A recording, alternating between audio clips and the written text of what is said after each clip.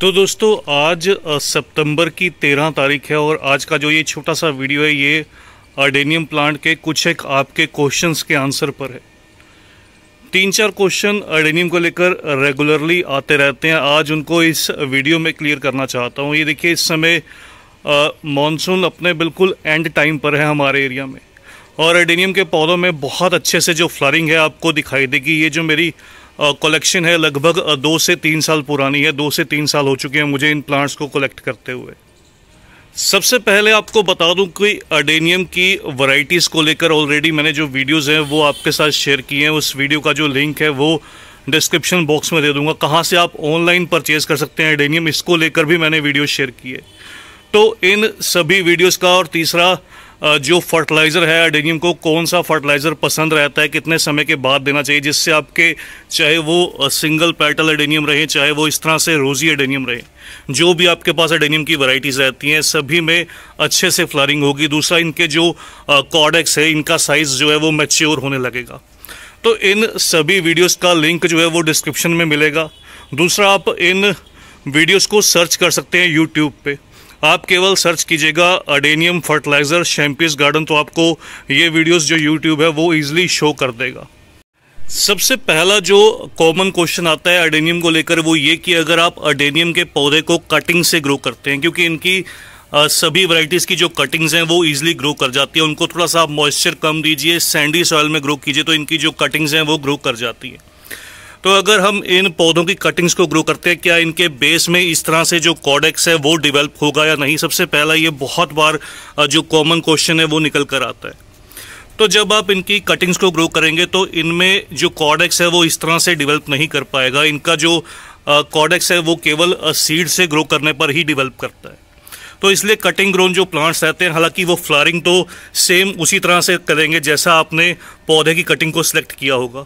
लेकिन उनमें जो सिंपली जो ब्रांच है, वो धीरे धीरे थिकनेस को मेंटेन करती जाएगी थोड़ी सी मोटाई को ले जाएगी।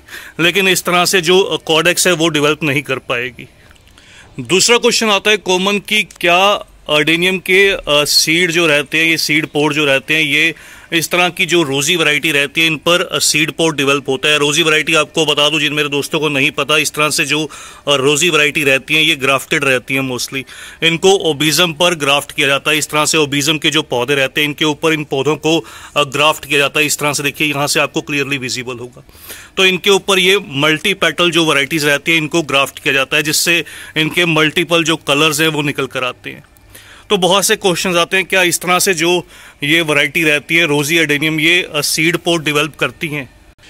इस क्वेश्चन का जो आंसर रहेगा, वो बिल्कुल आपको एग्ज़ाम्पल के साथ शो करूँगा। ये देखिए, ये मेरा रोजी एडेनियम है, जिसको मैंने दो साल पहले ग्रो किया था। और इसके ऊपर इस समय ये देखिए, ये सीड पोर्ट जो है, ये डेवलप होना स्टार्ट हुआ है।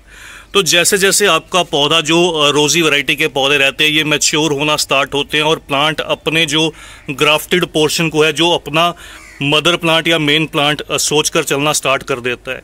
और आपको नीचे की साइड में सक्कर्स जो है, वो बहुत कम दिखाई दें या बिना सक्कर्स के पौधा ग्रो करने लगे।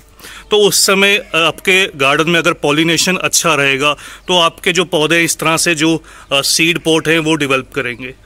इस तरह से जो सीड पोर्ट रहते हैं, इनको डेवलप होने में लगभग दो से तीन महीने का समय लग जाता है इनको मैच्योर होने पर इनके अंदर जो सीड्स हैं, वो निकल कर आते हैं और उनको ग्रो करने से सेम इसी तरह के जो पौधे हैं, वो डिवेल्प होने लगते हैं।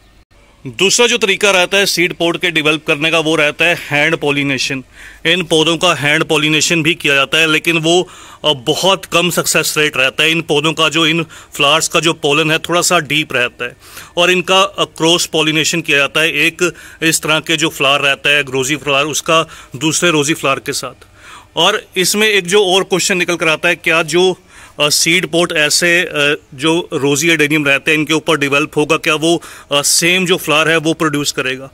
तो बिल्कुल ये पॉसिबल नहीं होता, ये ज़रूरी नहीं होता। कई बार कुछ केसेस में जो सीड्स हैं, वो सेम फ्लावर प्रोड्यूस करते हैं, लेकिन कुछ केसेस में जो डिफरेंट फ्लावर है, वो फॉर्म हो जाता है, क्योंकि ये क्रॉस पॉलिनेशन से तैयार होते हैं। तीसरा आसान तरीका रहता है सीड पॉट को डेवलप करने का वो ये कि आप अपने जितने भी एडेनियम के प्लांट्स हैं इनको आ, बिल्कुल पास पास में प्लेस कर दीजिए जिससे कि जो बर्ड्स हैं या फिर कह सकता हूँ जो बटरफ्लाइज हैं वो बहुत ज़्यादा आपके पौधों पर अट्रैक्ट हों। तो इससे काफ़ी चांसेस रहते हैं आपके जो पौधे हैं वो जल्दी से सीड पॉट डेवलप कर पाएँ। इसलिए अगर इस बात को समअप करूँ तो ये कहना गलत नहीं होगा। जो भी रोज़ी वैरायटी रहती हैं, थोड़ी सी मेच्योर होने पर जब ये एज्ड हो जाती हैं, दो से तीन से चार साल पुरानी, तब ये जल्दी से जो है वो सीड पॉट डेवलप करती हैं। लेकिन जो भी ओबिज़म वैरायटी रहती हैं, इस तरह से सिंगल पेटल ओबिज़म वैरायटी रहती हैं। क्योंकि ये सीड से ही रेडी किया जाता है प्लांट इस पर कोई भी ग्राफ्ट नहीं रहता नॉर्मल पौधा रहता है तो इसके सीड पॉट बहुत जल्दी डिवेल्प करते हैं। और लास्ट में जो एक क्वेश्चन रहता है, वो ये कि इनके जो कॉडेक्स हैं, वो जल्दी से मेच्योर या फिर इस तरह से मोटाई को कैसे ले सकते हैं, किस तरह से आप इनके कॉडेक्स को बड़ा कर सकते हैं। तो कॉडेक्स को बड़ा करने के लिए इनको फोस्फोरस रिच फर्टिलाइज़र दीजिए। दूसरा थोड़ा सा शेलो पोर्ट जो रहता है, थोड़ा सा छोटा पोर्ट जिसकी गहराई कम रहती है, उस तरह के पोर्ट का इस्तेमाल कीजिए। उससे जो कॉडेक्स है, वो ऊपर की तरफ़ डेवलप होगा और चौड़ाई में डेवलप होगा। और थोड़ा सा वाइड पोर्ट लीजिए, जो आपके कॉडेक्स का साइज़ है प्लांट के, उससे थोड़ा सा बड़ा पोर्ट तो साल में एक बार रिपोर्ट कीजिए, आपको कुछ इसी तरह से जो कॉडेक्स हैं, वो बहुत जल्दी मच्योर होते हुए दिखाई दे। तो बस दोस्तों, आज की इस वीडियो में इतना ही। ऐसे ही कुछ एक और इन्फॉर्मेशन के साथ जल्द ही मैं आपके साथ मिलूँगा। तब तक के लिए bye happy gardening take care